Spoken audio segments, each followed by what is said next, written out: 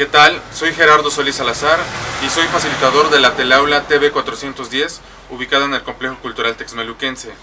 Mañana empieza el curso número 5, Retos y Perspectivas del Gobierno Municipal del Instituto Nacional de Desarrollo Social, con la teleconferencia Gobierno Municipal y Sociedad Civil.